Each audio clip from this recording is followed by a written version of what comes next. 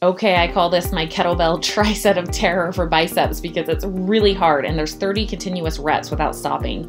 So you're gonna start with the bell out like this to begin with. Keep your shoulders and elbows fixed in position. You should get a really good pump just from these first 10. The next variation is gonna be a hammer curl, so turn your thumbs forward. Remember to squeeze and close that position at the top as tight as you can. And then the last variation is going to be an underhand grip, so you're really gonna burn them out here. Try not to cheat. You can do a rest pause if you have to. Just really, really squeeze.